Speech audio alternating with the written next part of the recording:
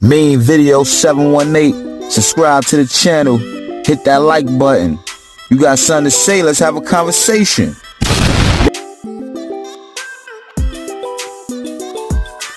always ask, man, how did you manage, you know, to have a career and have no injuries? The funny thing about it is I had home remedies that I used. Nobody believed me. I used to get urine. Where that urine from? Y'all stay with me now. I used to get Whoa, urine. whoa, whoa! Time out, time out. warm it up. Really Where good. from? Who I urine? No, I- Yours? I- if it wasn't enough of mine, I would have to get my teammates' urine.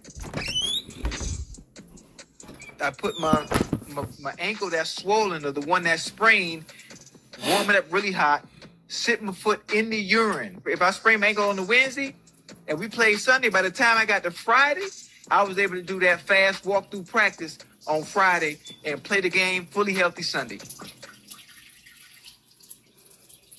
I'm gonna miss that game. Always ask, man, how did you manage, you know, to have a career?